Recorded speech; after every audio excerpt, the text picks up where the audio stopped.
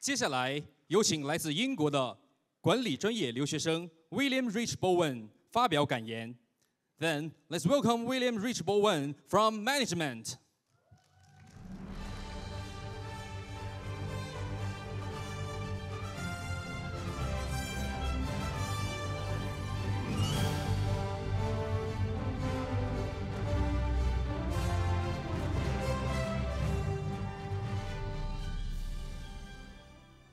Hello, everyone, faculty, graduates, and esteemed guests. It is my great honor to speak to you all this afternoon in this graduation ceremony. I'm William Bowen, part of class of 2023.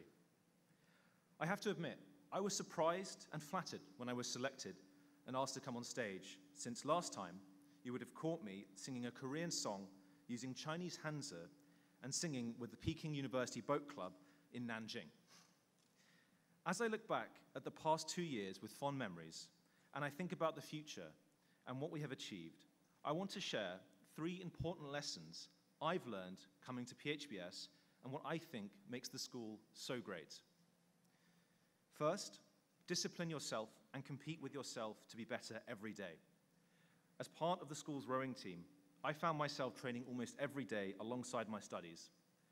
Whether it's 6 a.m. or 6 p.m., you have to dedicate yourself to your craft to be successful. I think it's safe to say in this room, you graduates are no exception. The second lesson is to have a mindset embodied in the words of Kobe Bryant.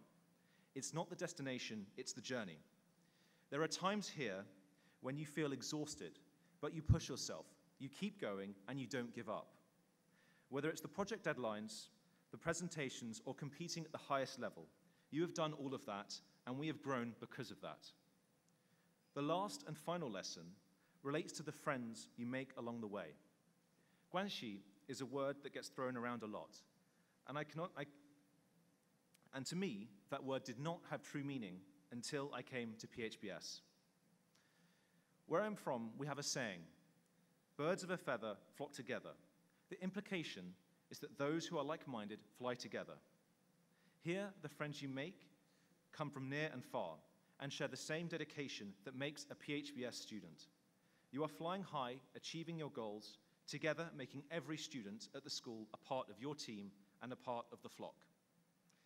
To this end, I want to sincerely thank the faculty and all the staff here at PHBS that make this all possible.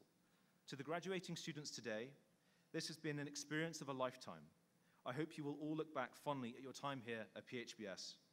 This place has enabled us to go beyond the limits we thought possible, and I hope you inspire others to greatness in the same way as you leave this place.